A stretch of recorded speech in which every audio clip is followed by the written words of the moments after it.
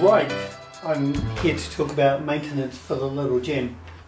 I'm not sure where to start, so I think we'll go from the bottom to the top. Um, we've designed them to ideally not need a lot of things done to them, so I'll tell you the things that I know along the way and hopefully they'll make sense and I'll come up with other things as we go. Uh, the first thing that I would talk about are the hinges and we have our own hinges made and they're generally really silent but sometimes like they can get a little bit of a squeak in them like, like any hinge can do.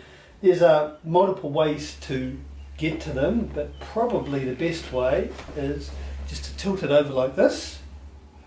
Be careful to place the pulley down maybe on a cushion or something like that. I'm on a table so I know that it's going to be um, protected. And then you can see the hinges exposed along the top here. And if you have something like some really fine sewing machine oil you can just put a little drop in between each gap along along the hinge there.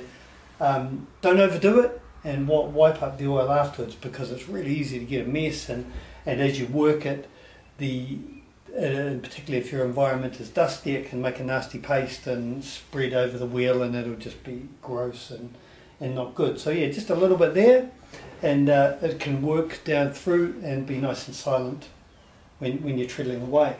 Um, this is not really a maintenance thing, but what, one of the things that I find when I'm using the gem is that with the geometry is a bit different, and the hinges. A lot of people when they step on them to pedal, they'll put their heels right back, right over the back, and they end up doing like wheelies. With a gem, you need your feet a bit further forward to keep the weight on the front of the pedal because it floats so that it stays on the crank. So rather than being way back like this, where it flips up in the air and clicks and clacks and can hit the drive wheel if you're not careful, have them a bit further forward so that your heel is overall over almost uh, you weight slightly forward of the hinges and then it will keep keep the um, the pedals on top of the crank assembly. The we have little roller bearings in there. Uh, they are sealed units, so they should be fine over um, for ever basically. Uh, one thing that will happen over time is that your belt will wear, and it's partly because we've got this unique twist in it and so as the belt comes up it's going to basically rub against the side of the wheel which is uh, against the side of the groove there which is just the way it is. So it will get smooth and hard over time and then it starts slipping and then rather than having your pedaling action driving the drive wheel it ends up just slipping in the groove and so you're wasting wasting effort. Um, you can feel it when, when they knew that they're almost kind of gritty and, and grippy and uh, that's that's the ideal. So I'm going to show you later on how you can change that drive band or in a separate video but it's not too tricky. You just yeah watch and we'll, we'll learn how to do it.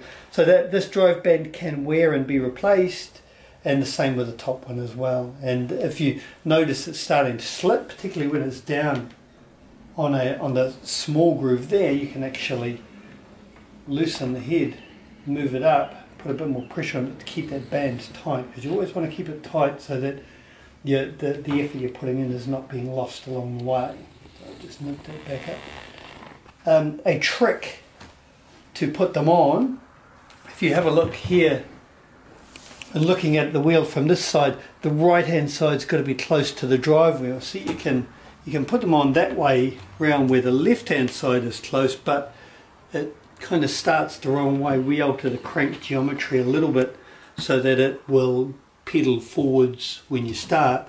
So it's got to be uh, the right hand side is close. What you can do is start in the groove, put your thumb, get it started in the groove on the right hand side, get your thumb, put it on and hold it, hold the band in the groove give the drive wheel a tighten and it actually loads itself on, and because I think, because we try and keep them nice and tight, it can be quite tricky, and particularly if your hands are getting less flexible, it can be quite quite tricky to get that on. Quite a bit of pressure on, turn it around, and once it gets over the top, it'll just clip into place.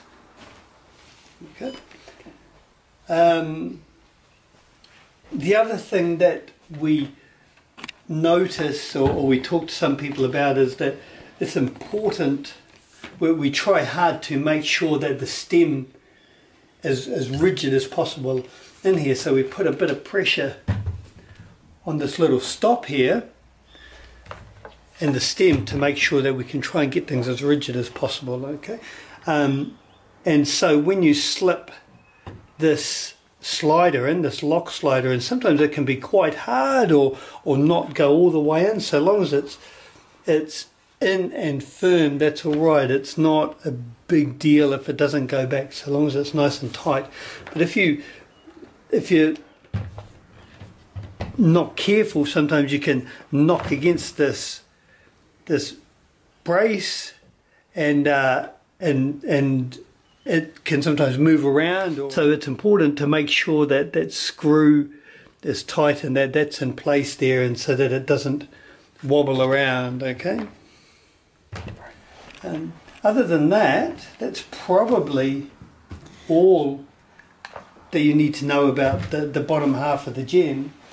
Um, so the top half, one thing that we find and that, that we're learning about is that uh, if you change the pulleys around, make sure that you do it up firmly, okay? This is not like a, a, a wrist cracking strength that you've got to do it up with, but it's going to be firm.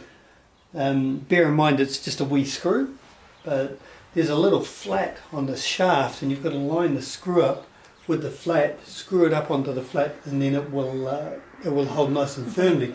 But but we find that, that sometimes people will get a wheel and they'll put that pulley on and they'll go, my wheel, wheel clicks and it's just that, that screw has not been done up either in the right spot or, or firmly enough and so it can go click, click, click uh, as it moves when, when, when, they're, when they're treadling the wheel. Uh, other than that, we, I'll take the flyer off.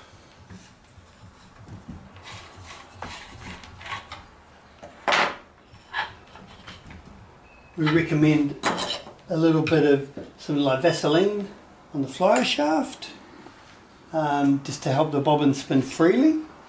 Um, and you can all, you also may find that when you get a new bobbin, we will ream them to begin with, and sometimes there will be a little bit of melted plastic that can be in there and make them a little bit tight. If you pull the bobbin on and off several times like that, it'll just knock the loose bits off and then spin nice and freely. Okay, um, I'll put this tension string on. And the other thing, this is in the manual, but turning the wheel around this way, the spring's got to go up and around to the right. And this is primarily for when you're spinning in a clockwise direction. Okay. Um, we'll load this up.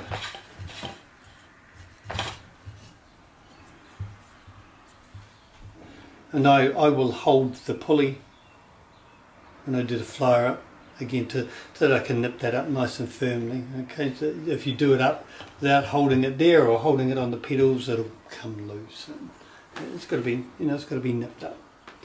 Um, and that's about all uh, I can tell you about the gem beyond that try and keep it clean. If you use some some of our uh, polish or, or any sort of polish and, and uh, you can rub down in between the, the, the, sides on the base so that it will slide down nicely. again, just keep, keep your wood nice and polished. You don't need to overdo it and don't leave it in the sun. Remember that wood is a, is a natural product and if you let it sit in the sun, it's going to dry out. Even though we've conditioned it and dried it and stuff like that, you've still got to be careful not to cook it or, or have it going through harsh environmental conditions. Yeah, yeah. So if you if you are taking it to transport, if, if you wanted to transport it, this is the way I will do that. I will pop the drive band off and just loosen the loosen the stem and uh, this this will fit in the bag just like this but be, be careful not to not to knock it around. And then put the put the drive band out the way. Loosen your screw oh we need to we need to pop the front drive band off. Loosen the slider. Then I'm going to turn it over carefully. I'll turn it on its side carefully being careful not to let the the pedals fly up and hit, hit the wheel and then just slip the lock screw into place and then it'll keep it down there. And then that bit can go in your bag as well. Don't lose your drive band. And you can slip it all in your bag. Then it's simply to, to put it back together, it's the reverse of it on its side. Unlock it, lift it up. The drive band can sometimes get caught in behind that stop, so put it clear. Slide it into place. Head on.